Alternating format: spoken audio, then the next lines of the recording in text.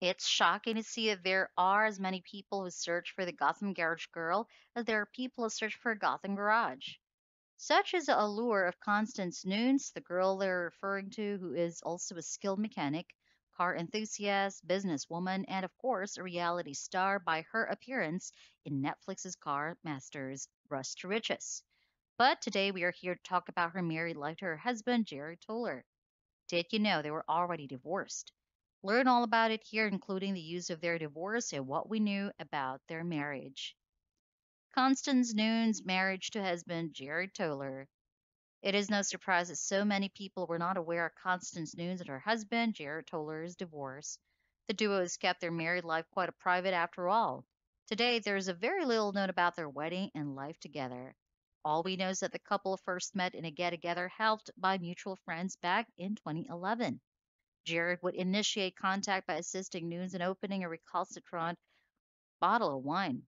She was won over by his gallantry, and he talked for the remainder of the evening. After that, they would go on dates for the following eight years, enjoying their shared passion for driving in general and vehicles in particular. They eventually decided to move forward and got married in February 2019 in a stunning Californian setting. Constance Nunes and husband Jared Toller's divorce. Constance talked about her challenging year on Instagram at the end of 2020. It was a year she almost lost her father to esophageal cancer. Thankfully, he managed to overcome illness and enter remission. In addition to this, the COVID 19 pandemic was another issue she and her husband faced. Her marriage suffered greatly as she and Jared grew more distant as the days went by. Nunes and Jared made the decision to split after nine years of dating. This is usually the first step toward divorce, as most people are aware. Constance drove to a new town, loaded up her car, and moved, and surprisingly, she completed all of this during the world pandemic. The divorce listing is officially present on the Unicourt website. On June 8th of 2020, Jared Toller filed a family marriage dissolution divorce lawsuit against Constance Nunes. This case was filed in Orange County Superior Court's Lamoreaux Justice Center located in Orange, California. Their case page reads, case status is not classified by court. So it seems to be Jared who filed for divorce on June 8, 2020. The couple don't share any children together. Gotham Garage girl dating a new boyfriend. So is Constance Nunes dating anyone new after her divorce from her husband? She did seem to have moved on a couple of years after her divorce. Fans suspect she was on a date with someone in the Valentine's Day of 2022.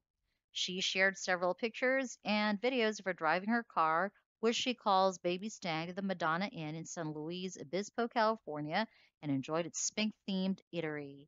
In the first picture, she's all clearly holding the hand of a man with a rare, expensive looking watch on his wrist. This is the first and last time we have seen him, even almost a couple of years after that post.